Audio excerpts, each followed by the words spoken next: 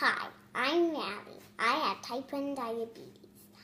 I I'm I'm selling sneakers and so so for the walk so scientists can make all of all of diabetes go away. The blue ones, the blue ones are one dollar. The red ones are five dollars. The yellow ones are ten dollars. The green ones are twenty dollars. And all more.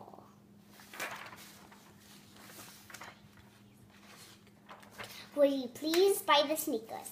Bye! And make your payment at www.2.jdrf.org backslash go to backslash Riley and Shelby, or you can do it via PayPal to Riley and Shelby at gmail.com.